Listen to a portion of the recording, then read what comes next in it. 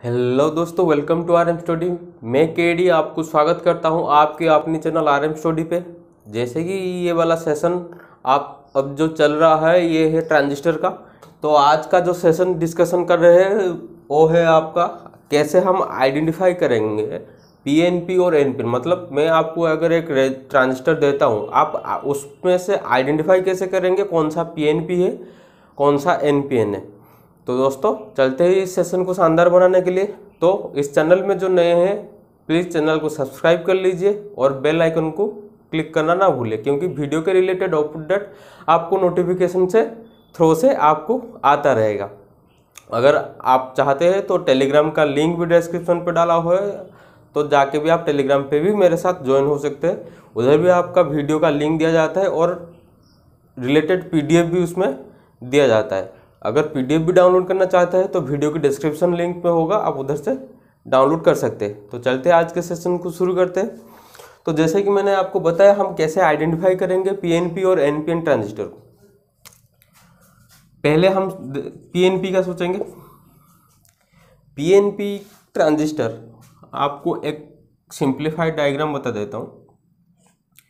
मैं आपको फिगर कैसे बताया था पीएनपी का? एरो मार्क बाहर की ओर होगा। ये हो गया आपका पीएनपी ट्रांजिस्टर का फिगर तो इसमें से कैसे फाउंड आउट करेंगे? देखिए, ये है आपका एमीटर का पॉइंट ये है बेस का पॉइंट ये है कलेक्टर का पॉइंट ये तो पॉइंट आपको पता चल गया। तो इसमें से क्या करेंगे? हम टेस्टिंग के लिए ज़्यादातर ओम मीटर यूज़ करते हैं तो हम ओम मीटर लगाएँगे। किस तरह से अभी देख लेंगे। अगर ये वाला आपका P, ये वाला आपका N, ये वाला आपका P है। पी एन पी बताया था मैंने आपको। तो तो हम क्या करेंगे? ओम मीटर जो लगा है, इस तरह सा ओम मीटर लगा लेंगे। मतलब ओम मीटर का पॉजिटिव एमीटर जो लगाया है, उसका पॉजिटिव के साथ, ठीक है एमीटर का टर्मिनल के साथ उनका नेगेटिव बेस के साथ। इस तरह सा कलेक्टर के थ्रो से भी एक एम ओम मीटर लगाएँगे। कुछ इस तरह का। तो देख सकते हैं, ये आपका फिगर हुआ। तो इस फिगर में से क्या हुआ? देखिए, पी एन पी पी पर लग गया आपका पॉजिटिव, एन पर लग गया आपका नेगेटिव। तो ये वाला फॉरवर्ड बायस में हो गया अभी। ये दो दो फिगर आप देख रहे हैं, ये अभी फॉरवर्ड बायस में रह रहा है। फॉरवर्ड बायस में रह रहा है मतलब उसका जो रेजिस्टेंस का क्या होगा? लो रेजिस्टेंसेस होगा। लो रेजिस्टेंस आपका जो ओम मीटर है, वो लो रेजिस्टेंस हो करेगा। इसमें से अगर समझ नहीं पा रहे हैं तो ऐसे भी समझ लीजिए। ये एमीटर ये बेस ये आपका कलेक्टर रह गया। तो हम ओम मीटर जो लगाएँगे, ये पीएनपी ट्रांजिस्टर है। ओम मीटर लगाने का तरीका क्या है? देखिए, इस तरह से आप ओम मीटर लगा लेंगे। तो ओम मीटर का पॉजिटिव पी टर्मिनल पे कनेक्शन करेंगे मतलब एमीटर का पी वाला टर्मिनल पे ये वाला ओम मीटर का पॉजिटिव, इसका पी पे कनेक्शन करेंगे तो नेगेटिव नेगेटिव ऐसे लगेगा दो ओम, दो मीटर आपका इधर फॉरवर्ड बायस की तरह कनेक्शन हो गया। तो इधर जो है आपका फॉरवर्ड बायस में आपका रेजिस्टेंसेस क्या है मीटर में? बताया था मैंने आपको, फॉरवर्ड बायस में आपका जो जंक्शन का जो रेजिस्टेंस लो रहता है, इसलिए आपका ओम मीटर का जो रीडिंग है, वो आपका लो दिखाएगा।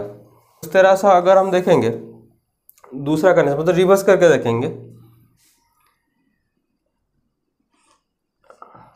ये वाला आपका हो गया पीएनपी ट्रांजिस्टर का फिगर तो अब क्या करेंगे सिर्फ़ ओम मीटर जो लगाएँगे ओम मीटर का टर्मिनल को रिवर्स करेंगे।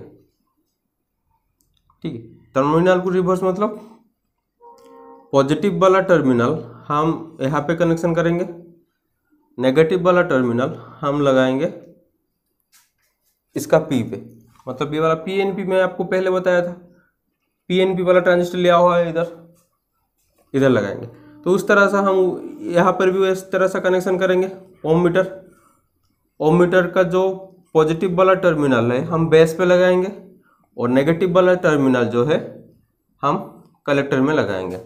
तो ये अगर आपका इस तरह से हो गया एमिटर बेस कलेक्टर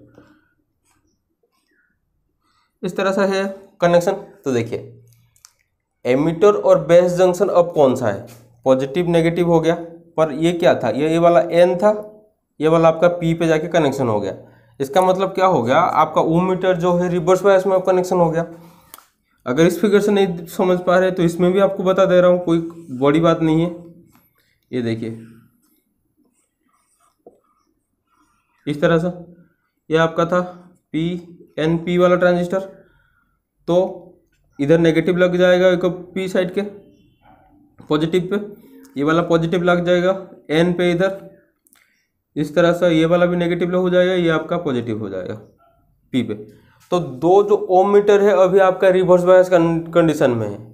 दो जो आपका ओम मीटर इधर लगाया हुआ है रिवर्स बायस कंडीशन में है तो इधर आपका रेजिस्टेंस जो होगा हाई दिखाएगा। हाई रेजिस्टेंस देखिए, दिखाएगा तो इसका मतलब क्या है? देखिए, जब हम ओम मीटर को फॉरवर्ड बायस में लगाते हैं तो लो रेजिस्टेंस शो कर रहा है। और हाई रेजिस्टेंस कब शो कर रहा है? जब हम ओम मीटर का टर्मिनल को रिवर्स कर लेते तो इस तरह से हम आइडेंटिफाई कर सकते हैं ये आपका पीएनपी ट्रांजिस्टर है। तो एनपीएन ट्रांजिस्टर का मेथड भी सेम है। एनपीएन ट्रांजिस्टर का मेथड भी सेम है। मतलब एनपीएन का क्या करना पड़ेगा? पहले जैसे ये वाला कनेक्शन हुआ है फॉरवर्ड बायस का, सिर्फ़ इधर आपका टर्मिनल को चेंज करना पड़ेगा। इसका भी फिगर मैं आपको दिखा रहा हूँ। हम अब एन पी एन के बारे में डिस्कशन करेंगे। तो एन पी एन जो ट्रांजिस्टर है, वो किस तरह से कनेक्शन होगा? एक सिंपलीफाइड उसका भी डायग्राम बनाते हैं। एन का किस तरह से आ जाएगा ट्रांजिस्टर मैं बताया था एम एमीटर का एरोहेड को लेके आपका जो ट्रांजिस्टर है, उसका मार्किंग भी जान सकते हैं। पर पहला क्या होगा, आपको तो मार्किंग पता नहीं होगा उस टाइम ये वाला मार्किंग जब मैं आपको ट्रांजिस्टर दूँगा आपको तो पता नहीं होगा ना, मैं सॉलिड स्टेट में आपका ट्रांजिस्टर दे रहा हूँ। तो ये वाला मैं सिंबल पे डेराइव कर रहा हूँ, इसलिए आपको पता चल रहा है कौन सा एन पी एन है और कौन सा पी एन पी है। अगर मैं आपको सॉलिड स्टेट में दूँगा एक ट्रांजिस्टर तो आप कैसे पता चलाएँगे कि उसमें से पी एन पी कौन सा है और एन पी एन कौन सा है? तो मैं इधर एरोहार्ट दे रहा हूँ, इसलिए आपको पता चल रहा है। अगर एरोहार्ट इधर नहीं दूँगा तो आपको पता चल सकता है कि नहीं चल सकता है? तो इसलिए ये वाला आपका ज़रूरी चैप्टर है कि आपको पहले आइडेंटिफिकेशन कैसे करेंगे, कौन सा पीएनपी है और कौन सा एनपीएन इस तरह से अगर ये वाला आप एनपीएन का लिए हुए एन पी एन तो इधर हम अगर ओम मीटर एक कनेक्शन करेंगे इस तरह से। ओम मीटर अगर कनेक्शन करेंगे तो ओम मीटर का जो पॉजिटिव बेस के थ्रू लगाएँगे, माना ये पी में, इसका नेगेटिव एन में लगाएँगे। इस तरह से इधर अगर ओम मीटर कनेक्शन किया जाए तो उसका भी आपका जो नेगेटिव टर्मिनल आपका कलेक्टर में लग जाएगा और पॉजिटिव टर्मिनल आपका बेस में लग जाएगा। तो देखिए पी पर आपका दोनों का प्लस लग गया है, अब एन पर आपका दोनों का एन भी लग गया है। उसका मतलब क्या हुआ? ये जो दोनों है आप फॉरवर्ड बायस में जैसा कनेक्शन हो रहा है तो फॉरवर्ड बायस में रेजिस्टेंस लो है, इसलिए इधर आपका लो रेजिस्टेंस शो करेगा। इधर आपका लो रेजिस्टेंस जो है शो करेगा। इसी तरह से अगर मैं बात करने जाऊँ, दूसरा फिगर में अगर मैं उसका कनेक्शन को थोड़ा चेंज करता हूँ मतलब उसको रिवर्स करना पड़ेगा मेरे को तो रिवर्स करने से क्या होगा?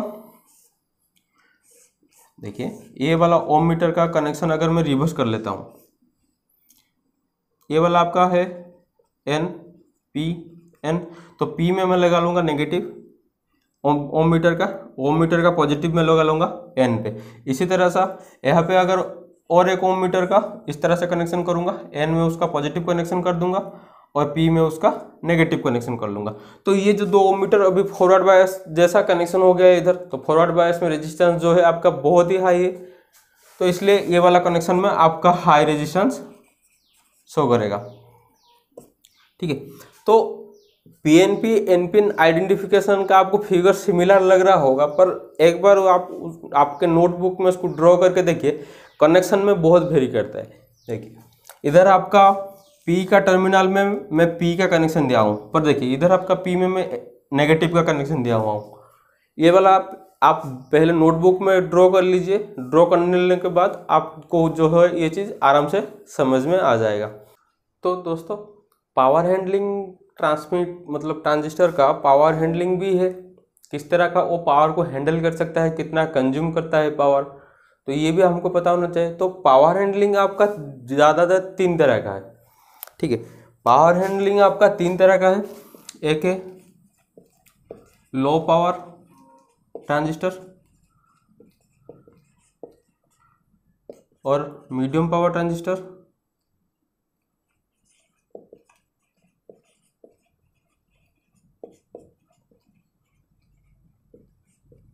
और जो है आखिरी वाला हाई पावर ट्रांजिस्टर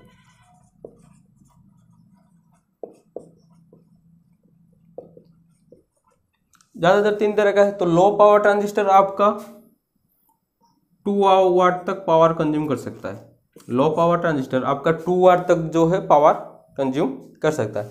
तो इस तरह से मीडियम पावर ट्रांजिस्टर की अगर बात करूँ, वो आपका टू वाट से लेकर टू वाट से लेकर आपका टेन वाट तक है। मीडियम पावर ट्रांजिस्टर आपका टू वाट से लेकर टेन वाट तक है। और जो आपका सबसे ज़्यादा रहेगा आपका high power transistor. High power transistor आपका रह जाता है टेन वाट से ऊपर। टेन वाट से ऊपर। ये सही होगा लिखना कि मोर देन टेन वाट।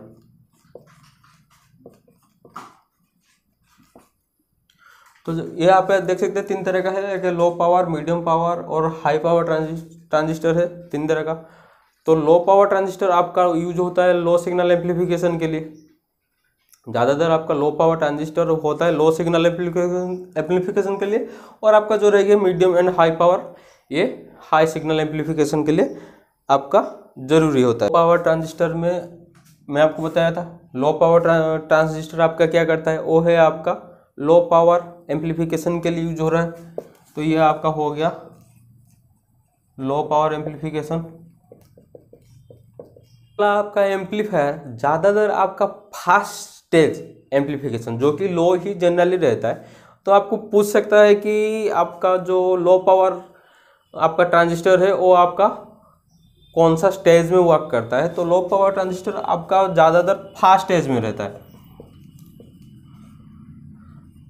फास्ट स्टेज एम्पलीफिकेशन में।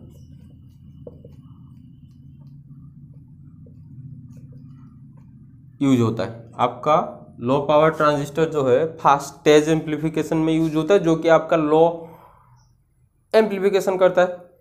तो इसका जो एग्ज़ाम्पल क्या है? लो पावर ट्रांजिस्टर के अंदर आपका कौन सा कौन सा जाता है? लो पावर ट्रांजिस्टर आपका जाता है माइक्रोफोन टेप हेड और आपका ट्रांसड्यूसर। ठीक, ये तीन चीज़ें आपका जाता है इसके लो पावर ट्रांजिस्टर के अंदर। अब हम बात करेंगे मीडियम और हाई पावर का, क्योंकि लो पावर ही है जो कि लो एम्पलीफिकेशन में यूज़ होता है, और हाई एम्पलीफिकेशन आपका मीडियम एंड हाई वाला जो ट्रांजिस्टर है यूज़ होता है। तो अब बात करेंगे हाई वाला की। मीडियम और हाई पावर ट्रांजिस्टर जो है, ये लार्ज सिग्नल एम्पलीफायर में यूज़ होता है। मतलब लार्ज सिग्नल एम्पलीफायर क्या करता है? आपका जो मीडियम और हाई एम्पलीफिकेशन के लिए भी यूज़ होता है आपका लार्ज सिग्नल वाला ट्रांजिस्टर तो तो मीडियम हाई पावर ट्रांजिस्टर को हम बोलते हैं लार्ज सिग्नल एम्पलीफायर मीडियम और हाई पावर ट्रांजिस्टर को हम बोलते हैं large signal amplifier large signal amplifier जो यूज़ होता है आपका मीडियम और हाई एम्पलीफिकेशन के लिए।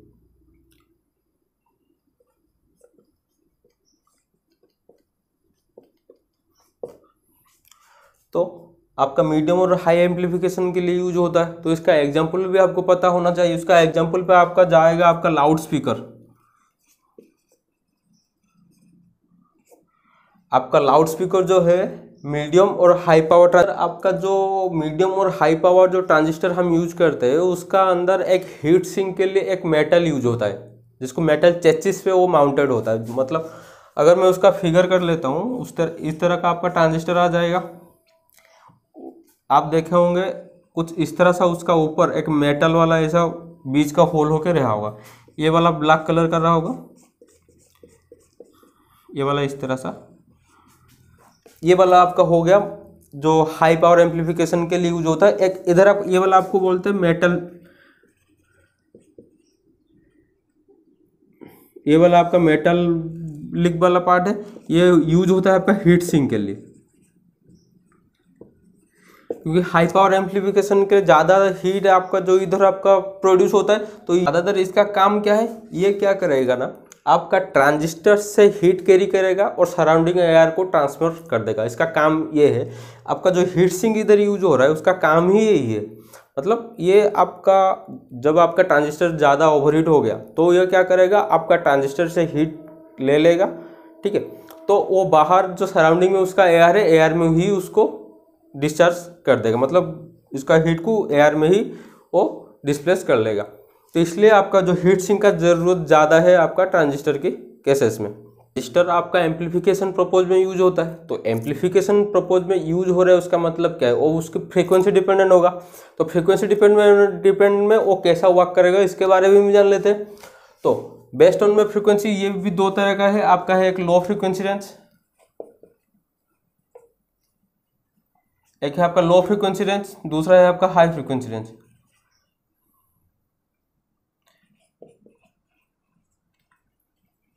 ठीक है? तो लो फ्रीक्वेंसी रेंज में आपका ज़्यादातर चला जाएगा इसमें ऑडियो फ्रीक्वेंसी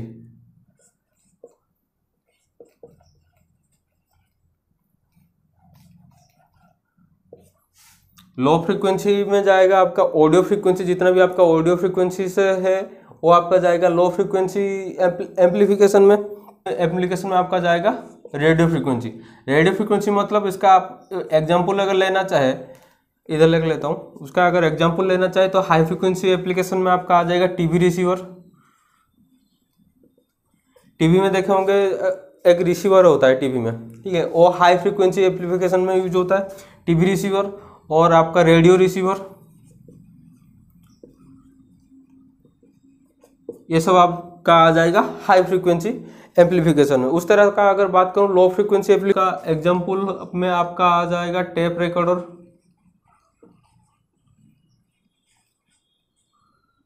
टेप रिकॉर्डर और आपका, और जितना आपका पर्सनल एसेसरीज है, जितना आपका पर्सनल एसेसरीज इसलिए इधर लिख लेता हूँ पी ए इक्विपमेंट तो टैप रिकॉर्डर और पर्सनल एसेसरीज इक्विपमेंट में आपका ज़्यादातर आपका लो फ्रिक्वेंसी ट्रांजिस्टर आपका यूज़ हो रहा है और हाई फ्रिक्वेंसी जो है आपका रेडियो फ्रिक्वेंसी जैसे कि टीवी रिसीवर और रेडियो रिसीवर में आपका यूज़ होता है। डिस्कशन करने वाले, वो है आपका फाइनल पैकिंग के ऊपर। मतलब आपका ट्रांजिस्टर जिसमें बनना था, वो बन गया। मतलब चाहे सिलिकॉन और जर्मानियम में आपका बन लिया।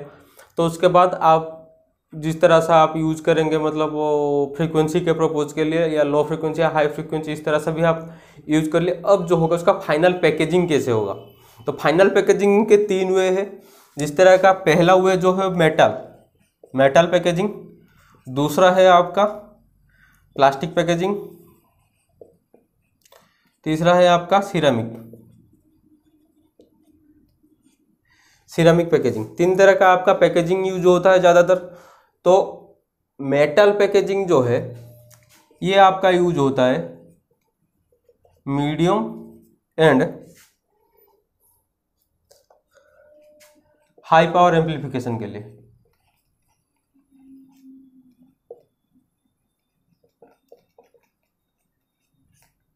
तो आपका जो मेटल पैकेजिंग है, ये आपका मीडियम और हाई पावर एम्पलीफिकेशन में यूज़ हो रहा है। प्लास्टिक पैकेजिंग जो है, वो आपका low power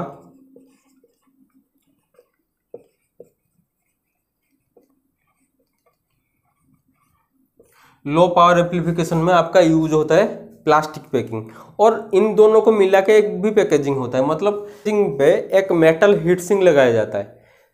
प्लास्टिक पैकेजिंग में, इधर लिख लेता हूँ। प्लास्टिक पैकेजिंग होगा, पर उसमें आपका मेटल हीट सिंग लगेगा।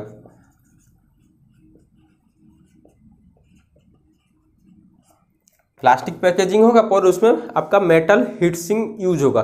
तो ये वाला ये वाला, इस तरह सा पैकेजिंग आपका यूज़ होता है मीडियम पावर एप्लीकेशन के लिए। मीडियम पावर एम्प्लीफिकेशन के लिए।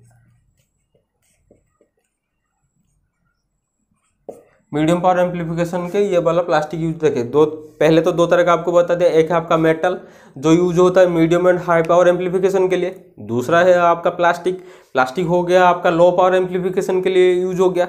और प्लास्टिक पैकेजिंग रहता है, पर उसमें आपका मेटल हीटसिंग एक यूज़ होता है। ये वाला पैकेजिंग आपका यूज़ होता है एक स्पेशल पर्पज मतलब मीडियम पावर एम्पलीफिकेशन के लिए ये यूज़ होता है। और जो रह गया सबसे शानदार जो है आपका सिरामिक पैकेजिंग तो सिरामिक पैकेजिंग जो है सिरामिक पैकेजिंग आपका यूज़ होता है हाई हाई पावर एम्पलीफिकेशन में मतलब स्पेशल पर्पज में यूज़ होता है सिरामिक आपका। ठीक, ये आपका यूज़ होता है हाई पावर एम्पलीफिकेशन के लिए, जैसे कि ये एम्पलीफाई कर सकता है आपका हाई फ्रीक्वेंसी हाई फ्रीक्वेंसी और हाई टेम्परेचर स्टेबिलिटी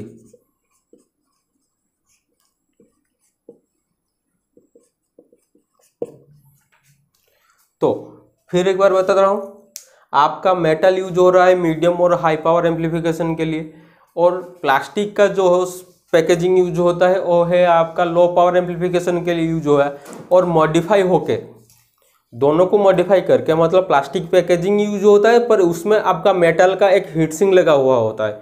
तो ये वाला आपका यूज़ हो रहा है आपका मीडियम जो मीडियम पावर एम्पलीफिकेशन के आपका यूज़ हो रहा है।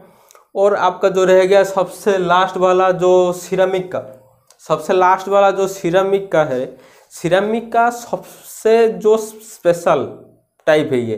क्योंकि ये आपका जैसे हाई फ्रिक्वेंसी को एम्पलीफाई कर सकता है मतलब वेरी हाई फ्रिक्वेंसी को भी एम्पलीफाई कर सकता है। और इसमें जो है आपका टेम्परेचर का स्टेबिलिटी भी बहुत है हाई टेम्परेचर स्टेबिलिटी है वो। तो इस तीन तरह का इधर ज़्यादातर आपका यूज़ होता है। दोस्तों, आज का सेशन जो है यही तक था। तो आज जो हम डिस्कशन कर हैं, वो है आपका कैसे हम आइडेंटिफाई करेंगे पीएनपी और एनपीएन ट्रांजिस्टर को, और उसका जो कौन सा कौन सा फ्रीक्वेंसी में यूज़ होता है पैकेजिंग किस तरह का होता है, ये सब आप डिस्कशन कर लिए। इसमें से बहुत रेयर क्वेश्चन आता है, पर ये आपके लिए इम्पोर्टेंट भी हो सकता है, इसलिए ये वाला भी हम डिस्कशन कर लेंगे। इसी तरह से जो है, सारे कंसेप्ट को हम क्लियर करते हुए चलेंगे।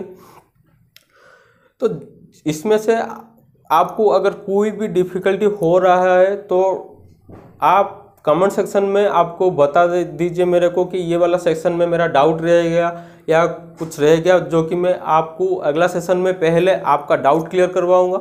डाउट क्लियर करने के बाद जो है सेशन आपका शुरू होगा। तो ज़्यादा से ज़्यादा आप कमेंट कीजिए, किस तरह सा जो वीडियो रह रहा है मतलब क्लास आपको कैसा लग रहा है, या क्या क्या डाउट रह गया, कि आपको ज़रूरत क्या है, इस बारे में भी हम बताएँगे तो बहुत अच्छा होगा। तो दोस्तों फेडअप होने का कुछ भी ज़रूरत नहीं है। अगर एग्ज़ाम नहीं हो रहा है अभी धीरे धीरे अब तो कोरोना के जो सेशन जो है सेकंड का गया, अब थर्ड का शुरू हो गया है।